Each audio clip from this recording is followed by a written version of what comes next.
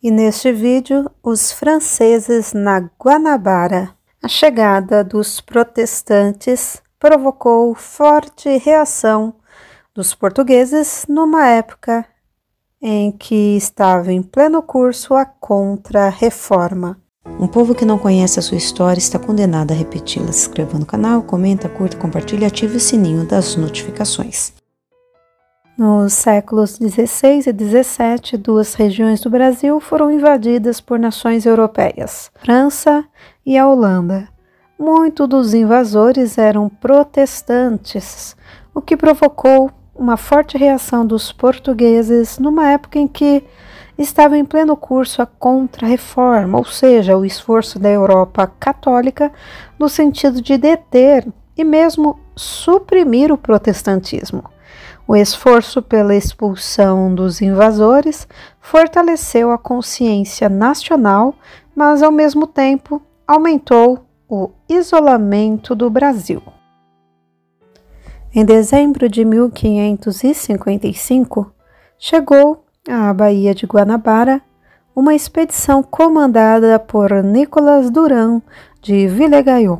O empreendimento contou com o apoio do almirante Gasparo de Coleghini, 1519 a 1572, um simpatizante futuro correligionário dos protestantes franceses, huguenotes.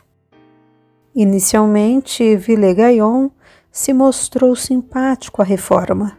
Escreveu ao reformador João Calvino em Genebra, na Suíça, pedindo pastores e colonos evangélicos para sua colônia. Uma segunda expedição chegou em 1557, trazendo um pequeno grupo de huguenotes liderados pelos pastores Pierre Richier e Guillaume Chartier. Um integrante da comitiva era Jean de Lery, que mais tarde se tornou pastor e escreveu o livro História de uma Viagem à Terra do Brasil, publicado em Paris em 1578. No dia 10 de março de 1557, esse grupo realizou o primeiro culto protestante da história do Brasil e das Américas. Rapidamente surgiram divergências entre Villegaillon e os calvinistas acerca dos sacramentos e de outras questões.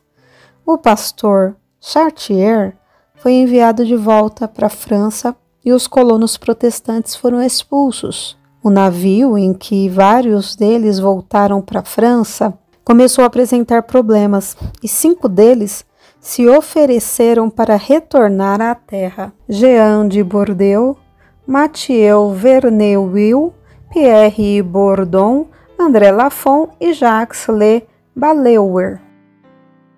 Em resposta a uma série de perguntas apresentadas pelo comandante, esses homens escreveram um belo documento, a Confissão de Fé de Guanabara, 1558.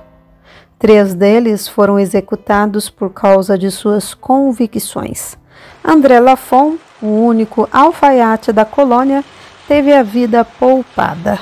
Le Baleur fugiu para São Vicente, ficou encarcerado por vários anos em Salvador e finalmente foi levado para o Rio de Janeiro em 1567, sendo enforcado quando os últimos franceses foram expulsos pelos portugueses.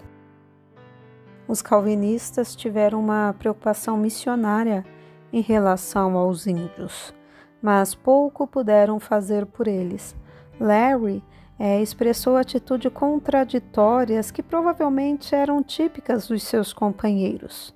Embora interessado na situação espiritual dos indígenas, a relutância dos mesmos em aceitar a fé cristã o levou a concluir que eles talvez estivessem entre os não eleitos.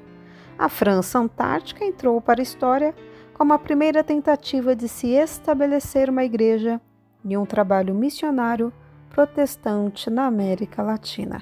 E não perca o próximo vídeo, a presença holandesa no Nordeste brasileiro. porque nada podemos contra a verdade senão pela verdade. Se você gostou desse vídeo, inscreva-se no canal, curta, compartilhe e ative o sininho das notificações.